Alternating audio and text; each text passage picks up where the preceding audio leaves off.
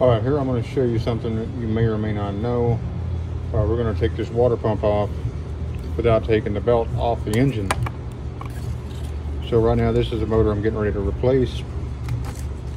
And so it's out of the car laying here on the table. It's just here, just easier to see. Go ahead and take out the screws.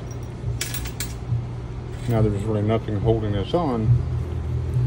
So what we got to do, pop it out just a little bit off of its dowel pins.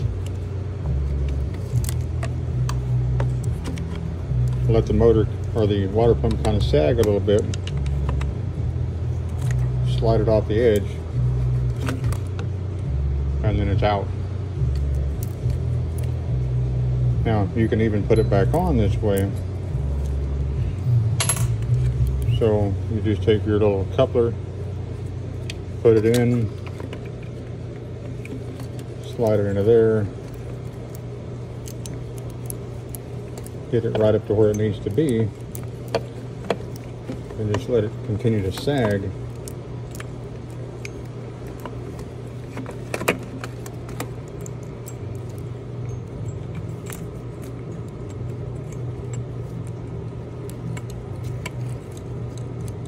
And it'll slide back on and then right back on the dowel pins like that. So that's really the easiest way I know of to do one of these water pumps